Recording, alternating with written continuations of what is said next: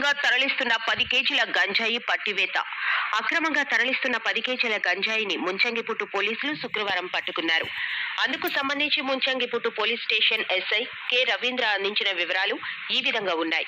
మండలంలోని లబ్బూరు జంక్షన్ వద్ద శుక్రవారం ఉదయం ఏడు గంటల సమయంలో పోలీసు సిబ్బంది వాహన తనిఖీలు చేస్తుండగా ఒడిశా పనసపుట్టు నుండి బుంగపుట్టు మీదుగా అపాచీ బైక్ పై ముగ్గురు వ్యక్తులు వస్తుండగా వారిని ఆపి తనిఖీ చేసే క్రమంలో వారు పోలీసులను చూసి బైక్ను బ్యాగ్ను విడిచిపెట్టి పారిపోతుండగా తమ సిబ్బంది వారిని వెంబడించి పట్టుకోగా ఇద్దరి నిందితులు దొరికారని మరో వ్యక్తి పరారీలో ఉన్నాడని అయితే బ్యాగ్ను తనిఖీ చేయగా అందులో పది కేజీల గంజాయి ఉండటంతో వారిని అదుపులోకి తీసుకున్నామని ఆయన తెలిపారు.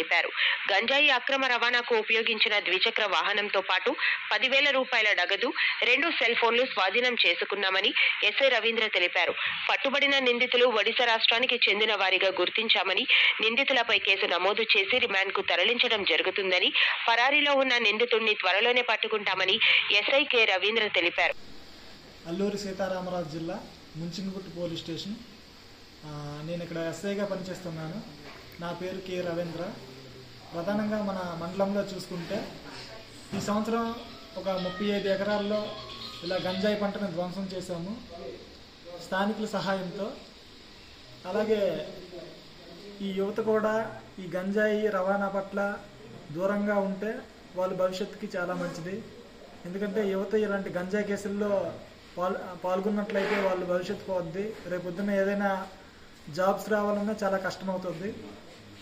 అలాగే మన గవర్నమెంట్ వచ్చేసరికి గంజాయి పంటకు బదులు ప్రత్యామ్నాయ పంటలు ఇస్తూ ఉంది. సిల్వర్ మొక్కలు కానీ రాజ్మా చిక్కులు కానీ అలాగే జీడి మొక్కలు కానీ ఇస్తూ ఉన్నది. కావున ఆ గంజాయి పంటకు బదులు ఈ పంటలు వేసుకొని మీ యొక్క జీవితాన్ని గడపాలని మేము కోరుకుంటూ ఉన్నాము.